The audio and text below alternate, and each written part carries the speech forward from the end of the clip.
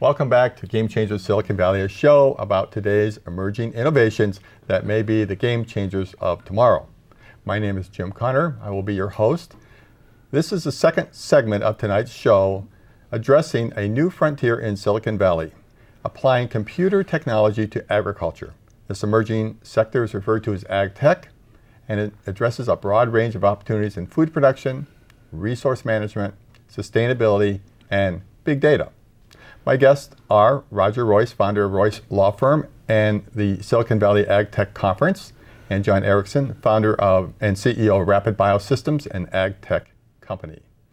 Welcome back to this segment, Roger and John. We had quite a good discussion in that first part. I'd like to continue on with a little more, more about your experience in the accelerator that Roger has built and is providing as a growth mechanism. Great. It, has been a wonderful experience. Let me just start with that. Roger and I met last year at the Ag Tech event and then built our relationship. And actually, it started, we contracted with Roger's law firm to do our Delaware incorporation. And so that was a wonderful experience and worked out very well. They've given us very sage legal advice as well. And then when the incubator came up, we, we signed up. We, we proposed our, into the applic- put our application in, and it was accepted. And we've been working very closely with Roger and his incubator firm uh, since then. Mm-hmm. Tell us about it then. You have uh, 15, 16 companies in there? We've got about 15 companies 15? in the program. Uh, several of them are on site. We offer facilities to, to some of them. Others are, are out in the field, so to speak. Mm-hmm. Uh, but yeah, it's about 15 now. Okay. And what stage are they? Are they pure uh, in, in intellectual property plays or are Not, they actual products and services? We want them a little further along than that. What we were looking for is a company that's, that's in the market or pretty close to going to market that we can actually see the path. Because what we offer these companies is really that go to market. You know, we offer them that opportunity. So some companies are a little too early. We've seen some incredible technologies, just some space age stuff. You know, you, you can't believe it until you see it, but they're just not a product yet. So those are a little too mm-hmm. early. Similarly, you know, there are companies that are already out there selling products and not doing anything particularly new or innovative. They're a little, you know, beyond where we where we are. We're really looking for startups that are ready, ready to go out, get into the market, and basically disrupt their space. Mm-hmm. This is the second segment. I'm going to let you repeat kind of what your, your company does for those in the audience who haven't seen the first segment, just briefly. Uh, sure. Sure, I'd be, I'd be, happy to. Yeah. So, what we're developing at Rapid Biosystems is a portable, handheld pathogen detection system that's very fast. By fast, I mean we give results on bacteria pathogens in about 10 or 15 minutes once a sample is put into the device. And so our, our system is made of, of two components. One, we have a microfluidic sample slide. A sample is inserted into it in about a 1 ml sample and goes through the channels. And on one side, it reacts with antibodies and other chemistries.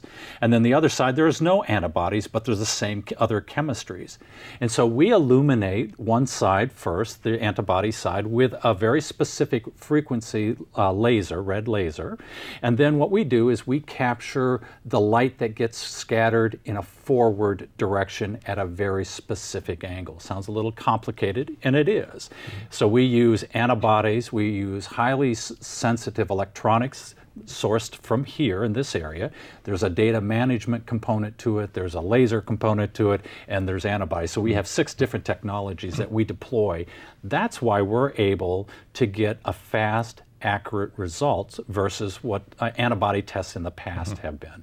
And you pulverize the, in the case of vegetables, you pulverize it and put it in a little bit of the material. Yeah, so what we do yeah. is if we're down in Salinas, for yep. instance, right, in the miles and miles of fresh green leafy vegetables, you'll take a spinach sample or a lettuce sample, you put it in a small portable blender, almost like a coffee blender, and we'll break it up really fast. And then what we do is we extract a liquid sample, a 1 ml, with a syringe or a pipette, and then we insert that into the sample. So all of our testing that we're doing is based on a water or aqueous sample.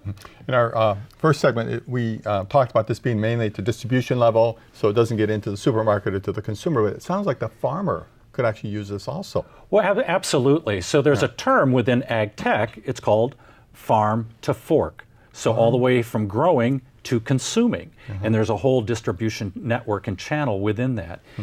In that distribution channel, there's multiple opportunities to do pathogen testing. And some of it is required by the FDA with these uh, relationships they have with food mm-hmm. companies. So, farmers, absolutely. Large multinational companies like Dole and Chiquita and others are a really important target for us because the need is so great. Mm-hmm. I'll give you, a, for instance, one of those large companies I just mentioned down in yeah. They sit on over a million dollars worth of inventory every single day, just waiting for pathogen test results. Oh, Can really? you imagine the waste of time and capital? How long does it take today? Right now, right now, the current gold standard is this DNA testing I talked about, PCR, and that takes a matter of hours today to a day. So it could mm-hmm. be from five hours to 30 hours uh, to get a result. Are they getting faster? Absolutely, they are. Are they portable, handheld, accurate, deployable into a field? No, they're not. Mm-hmm. That's why we're trying to answer that very specific, wide global need for a testing platform. Great, great. John, in your experience, what is what is in general when you hear about these big recalls? You know, whether it's hamburger distributor, hamburger, right. where do they where do they typically happen? Is it in storage that food goes bad, or you know, some truck didn't have the air conditioning or the freezer working? What, what, have you seen in your experience? So, in a lot of different places, to give you an answer, it's it can happen in the field. Mm-hmm. There can be a bacterial contamination that's environmental. A lot of bacteria grows in soils or is left by animals that come into, into the field or fly over the field. Mm-hmm. And so there can be contamination there. There can be contamination every step in the distribution channel where it's post harvest and it's being green leafy vegetables. It's being processed and, and, and bagged, or whether it's out further and there had been some contamination that wasn't caught and it's in an environment over time that allows it to, to grow all the way to product that's expired. Well, this whole thing is a big evolution coming down. It's probably one of the biggest things we've seen in years coming out of Silicon Valley. You, uh, in a prior meeting with me, said essentially Silicon Valley is the place where we have the resources and the um, the in intelligence and the drive to make this happen. Uh, maybe I'll let you comment it's about really a, a, perfect storm if you yeah. think about it, and and that's that's what occurred to me one day three years ago when I when I started the group. We're here in California, which has a $46 billion a year agriculture industry. It's by far the biggest industry in the state. We're here in Silicon Valley, which is the center of the technology universe right? This is where people come from all over the world to find that technical know-how in those people. And we're also sitting right next to one third of all the venture capital that gets invested in this country. So it's a perfect storm of conditions to create the center of what I think is the next big thing, agritech. Mm-hmm.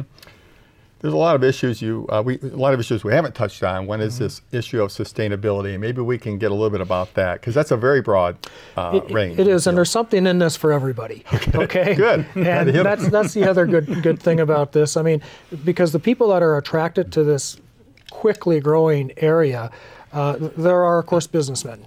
There are people who are who are interested in technology. Uh, there are people who are interested in, in finance, but there are also people who are interested in saving the world. And there are a lot of places where there's room for improvement when we talk about sustainability. Uh, number one, as, as, as is commonly said, we're going to have 10 billion people on this planet by 2050. Okay, that's within the lifetimes of some of your viewers. Okay, so, so think about that. There's just not enough land to support that many people. Yeah. And it's not getting any better. In fact, China is a good example of where the land, a lot of the land has just been destroyed. So we have to get more resources out of less land. That's a big opportunity and it's a very important thing. A second area is, uh, you know, I grew up in the Midwest. Uh, alongside a river that was in farming country that you couldn't eat the fish out of the river because of the chemicals that were in the river. That's the old way of farming. We're moving away from that. We're going to have to move away from that because current agriculture has a very large footprint on the environment. And there are, there are credible studies that can show that it's creating environmental uh, issues that are just going to have to be dealt with. That's a problem, but it's an opportunity. It's mm-hmm. an opportunity for technology to solve. Great, great. Um, so, John, what's next? What's coming down the road for you? First, all, I want to give a, a moment ahead of time and let you talk about how a company or individuals would contact you Uh, uh, your, your company and the website, and then what's coming down the road for the company uh, uh, uh, in the next year or two. Great. So yeah. the easiest way to contact us is through our website, www.rapidbiosystems.com, or my email, which is jerickson, E-R-I-C-K-S-O-N, at rapidbiosystems.com. That's the easiest way to get a hold of me. Okay, great. I'll, I'll let you also give your uh, information for contact. Uh, Google, Google Roger Royce. Royce, RoyceLaw.com, Royce with an S, not a C, RoyceLaw.com, Royce Law Incubator, Royce Law Ag Tech, and yeah, you'll find okay. us. Silicon Valley Ag Tech is good. Um, so there's a, another uh, last issue I just want to touch on, and that is the world's changing dramatically. There are a number of parts of the world that have a lot of um, violence and um, um, unfortunate things taking place. Food security, the security to produce a reliable food supply seems to be emerging as a concern in those countries, and frankly, probably be a concern in our country too. We've been blessed to have a wealth of fertile land, great production methods, we've increased yield. Um, but are there any thoughts or um, concerns that uh, we that this will become a strategic food production, food security will become a future issue in the world? Well, I think it already is. The you issue do. of food security, absolutely. And that is, there are technologies out there addressing that, that very issue right now. That's an important one. And you touch on another one, is food as a national security issue. And that's always been true. It's a, it's a very, it can be a very politicized issue. Does water fall into ag tech, water management? Absolutely. We have several technologies. We call it precision, a subset of precision farming that uh, drip irrigation is a good example, but there are much more advanced irrigation that save water, which is really important these days, as you know, especially here in California. Very important. Great. Great. And John, um, I did want to ask you, is there any um, upcoming information or announcements you're going to do? You're going to be at the conference, the uh, Ag Tech Conference, May? May 11th, Computer yeah. History Museum yeah. in Mountain View. And you're going to be on stage? Well, we hope so. I will certainly will be well, you haven't attending. That yet. I'll be attending that conference, and it really for us in the company, this was a, a critical moment in our development. By getting associated with Roger and then the incubator, it allowed us to have access for a small startup like we are to have the type of access that Roger's incubator has offered us has just been tremendous. And and from a, a you know, a startup perspective, that's critical. Critical to capital, critical to technology, et cetera. And we've had an opportunity to meet mm-hmm. dozens of folks in this space.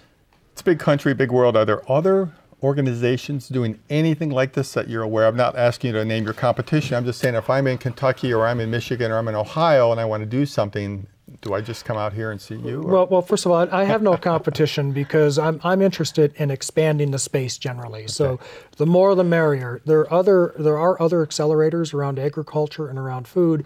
They're, they do not quite have the same focus as us. Uh, I'm not aware of another one that's that's exactly like us, where we're just applying that Silicon Valley rainforest network to the ag tech industry. A lot of them are focused on sustainability, some on food uh, some on food tech, but we're somewhat unique in what we're doing. That's great. Great. I want to thank both of you for coming on tonight. I've thoroughly enjoyed it. I've received an education to some extent. I really knew nothing about ag tech at all, but it's a very deep and very broad market. So I want to thank you both, and I want to keep in touch because I think this is going to be a remarkable evolution, and we should be seeing some announcements in the next 12 to 18 months. Thanks, sir. Absolutely. Appreciate it. Thank you. I'd like to thank you for joining us on this segment of Game Changer Silicon Valley.